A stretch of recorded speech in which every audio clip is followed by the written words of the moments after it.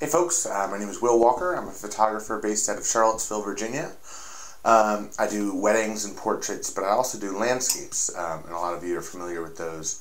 And recently on Facebook, I posted that I ordered an intervalometer, that I was really excited about it, and a lot of you guys asked, well, what the heck is an intervalometer? Uh, an intervalometer helps lets me take photos in certain intervals. So think of it as intervalometer um, over a set amount of time. So let's say I wanted to take a photo uh, every one second for an hour. Um, this thing lets me do that. Um, and it's really great and I hook it up um, and get a series of images that later in post-production I can, I can put together at a certain frame rate and uh, make these time-lapse videos. Do really cool stuff with it, sunsets, sunrises, uh, a crowded plaza over a, an hour, two or five, or whatever you want.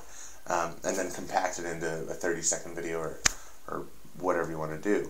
Um, uh, I was just down in Cape Hatteras, North Carolina, and uh, I'm still learning. This is really new to me.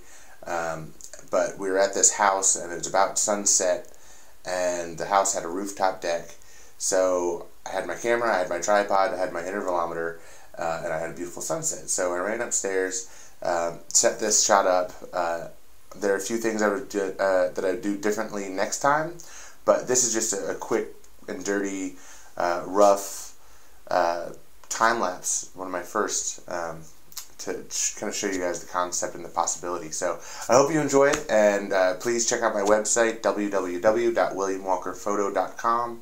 Uh, my blog is walkerphotoblog.com. Like me on Facebook, add me to your circles on Google+, and um, yeah, that's it. Let it roll.